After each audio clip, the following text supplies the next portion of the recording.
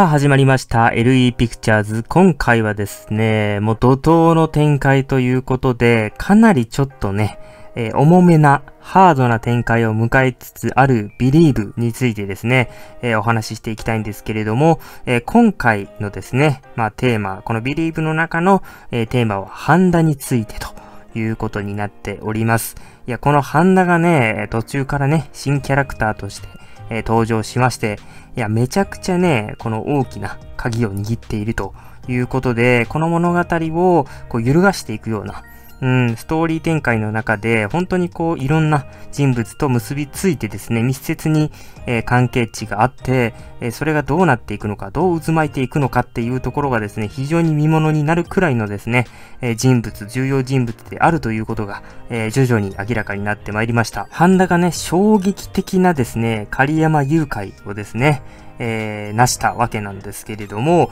じゃあ一体なぜ連れ去ったのかと。いうことはですね、今回非常に重要な位置づけとして考えられます。半田は過去にですね、狩山と共に一緒に仕事をしたことがある人物だったということなんですよね。えー、そんな半田が自身の娘の無念を晴らすべく、えー、狩山をかくまったことなども明らかとなりました。ではなぜ、えー、このね、狩山をかくまったのかということになってくるんですよ。それはですね、半田がですね、えー、二人娘さんがいるんですけれども、そのうちのね、えー、一人ですね、を亡くしており、え、その死因は、その彼氏による、まあ、殺害という形になるんだそうです。えー、ただですね、その犯人は、えー、半田に対しては自白めいたもののですね、えー、供述をしているんですけれども、警察側からすればですね、証拠不十分ということで、えー、捜査規模の縮小をしていたということで、本当にこう、判断にとってはですね、無念、憤り、というところですよね。気持ちになって、もうどこにもね、怒りをぶつけられないっていうところでね、警察に対するね、信頼感っていうのも一気になくなって、消え失せてしまって、本当に失望をしている、今の現在の心境ということなんですけれども、そんな半田はですね、警察を頼らずに、ハンダ自身で復讐を果たそうとしているということがですね、分かっておりまして、えー、ハンダは過去にですね、竜神大橋の事故についても不審に思っていたと。狩山が設計したですね、竜神大橋の事故ですよね。あれは怪しいというところですよね。えー、狩山がミスするなどありえないということですよね。えー、能力を高く見ていて、あれはインチキ裁判なんじゃないのかというふうに疑いを持っていました。え、警察などのこの公的機関に対し、もう信頼がね、なくなっている藩だと。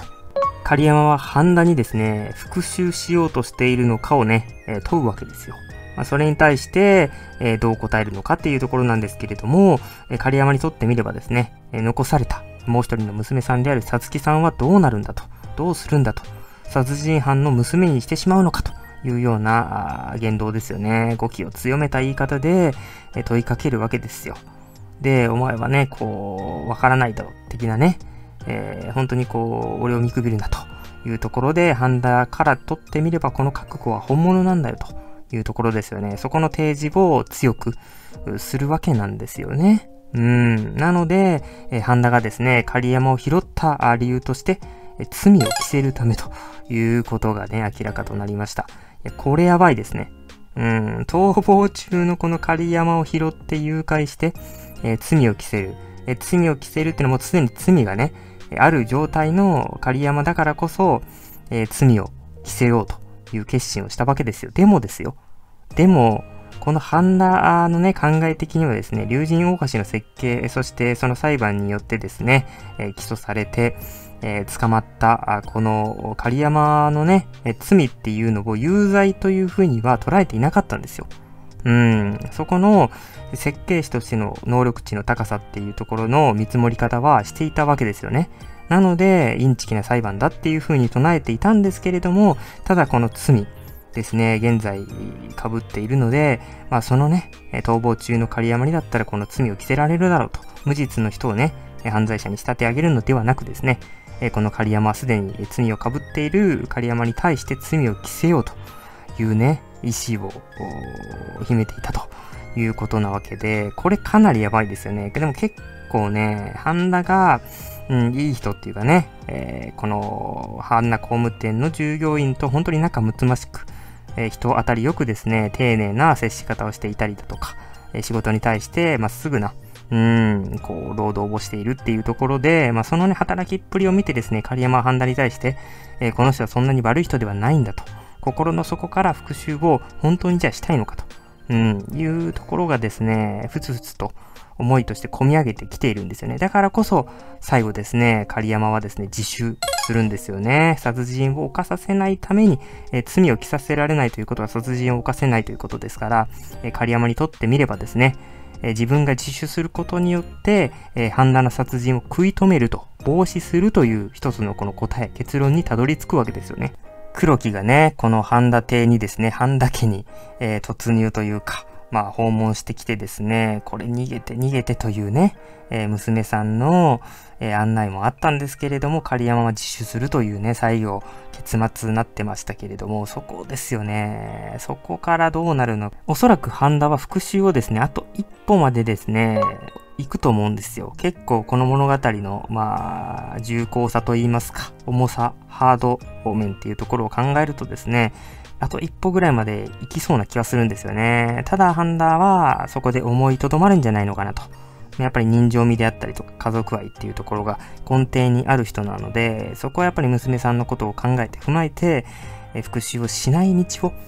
選択するんじゃないのかなというふうに見てます。やばいやつなんだけれども、ただこう中を見ていくと、うん、非常にこう筋の通った人間であるっていうことが伺い知れますし、まあそれをね、えー、この狩山というフィルターを通して、えー、視聴者にうまく伝えていたあ今回の放送っていうところになっていたんじゃないのかなと。そんな狩山と半田の2人なんですけれども、2人の共通点というところはですね、まあ、この設計に関わるっていうところはそうなんですけれども、ただですね、公的機関ですよね、巨大組織に立ち向かうということなんですよ。狩山側から見ればですね、そこまで警察であったりとか、まあ、刑務所っていうところにめちゃくちゃ怒っているっていうね、えー、そこに対する思いっていうのはそこまでないと思うんですけれども、ただね、定和建設に対する思いっていうのはあるわけですよ。なぜこの